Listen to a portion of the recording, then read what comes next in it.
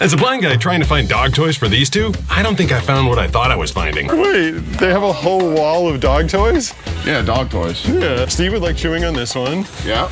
This one feels Skylar sized. I mean, there's all sorts of dog toys here. Similarly, I wasn't quite sure what I was getting when I was looking for this, an anime t-shirt. Is this an anime one?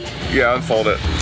What color is it? It's it is black, red. It's kind of like I think it's cool, totally colorful. you. It Yeah. says bad habits on it. okay. I feel like they were leaving out some important info, so I had to go out into the streets and ask for some help. It's like uh, Japanese, like anime-ish. A girl with a really short skirt. Wait, a girl with a short skirt? Is it inappropriate? Not necessarily. Not necessarily? the outfit she's wearing is not an outfit I would wear in public. Okay. It's Okay. okay to have on a shirt.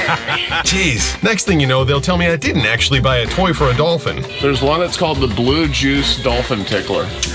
Toys for dolphins. All right.